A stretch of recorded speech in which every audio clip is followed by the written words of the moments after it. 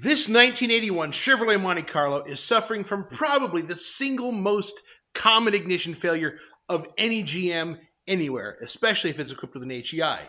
Let me tell you what's going on. Went to start this this morning to go get groceries, just do normal life things. Crank, no start, pulled the spark plug wire, popped the spark plug in, tested it against the ground. We are out of spark completely. I'm pretty sure I know what it is. It's got to be the ignition module. So I got a new one from AutoZone. Let's get the cap off and take a look and get this swapped off. So before I go any further, I've just verified that I have, you know, nearly 12 volts at the uh, positive side uh, of the ignition system at the HEI. I've just got the bat terminal taken care of. I know this car was cranked on a fair bit, so the battery is probably a little low. I'll get it on the charger shortly, but at least I've proved that I do have power to the ignition. So we already proved we have 12 volts at the distributor on the power wire. So what's next? You can check the coil across the primary windings, the yellow and red, or the outer two ones. It's supposed to between, be between 0 and 1 ohm. And this is an auto-ranging multimeter, and you can see, let me get the light correctly here, we're running 0.3, 0.4, 0.5 ohms well within spec. So let me change up my probes and I'll show you the secondary winding. Now the secondary winding is between here and here. And from what I understand, based on what I've read, you're supposed to be between 3,000 and 30,000 ohms. So we can just hook the alligator clip up there, let it do the thing, and you can see we're in kilo ohms, so that's that times a thousand.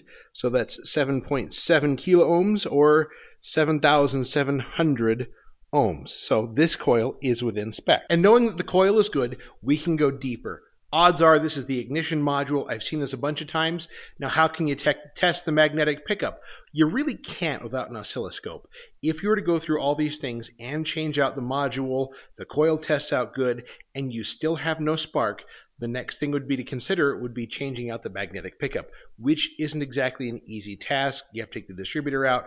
It's kind of a pain to do. I've changed one because I was questioning it, not necessarily because it was bad. So let's get digging into this a little bit deeper. So now that I know that we've got power to the distributor, power to the ignition, everything is as it should be there, let's take the cap off and get to the ignition module because that's the most common failure on these things.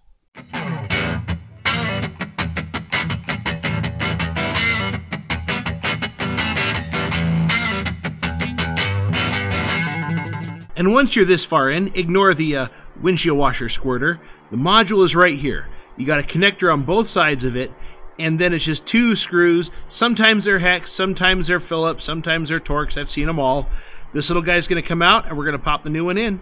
As always, comparing the old part to the new part, word of caution if your vehicle is like mid 80s G body or tr uh, GM truck, a lot of them were computer computer controlled lots of bunny ears on that one and they had oftentimes seven pins four on one side three on the other uh, this one is formerly computer controlled. It is now, as it should be, uh, all mechanical and everything. So it's the four pin style module. Then we're just going to turn it over, squirt the heat paste all over the bottom, give it a, a wipe around, put it back in its place.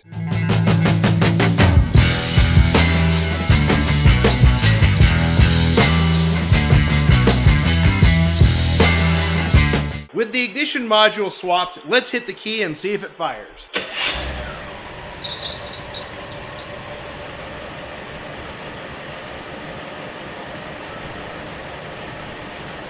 And just like that, with a new ignition module, it comes to life. Now, I understand that if you're a seasoned veteran, you know this already, but there's a lot of people are just getting into cars for the first time, and the crank no start like that can really trip you up if you've never experienced it and don't know what you're looking for. So keep that in mind. The GM HEIs, the ignition module is a very common failure.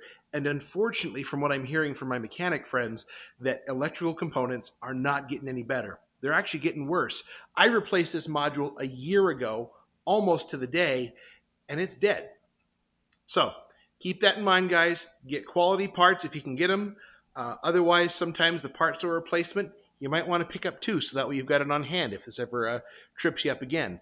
I mean, realistically, this is a 20, 25 minute fix tops, and it can, you know, totally wreck your day because the car doesn't go anywhere. Anyways, thanks for watching, guys. We'll catch you later.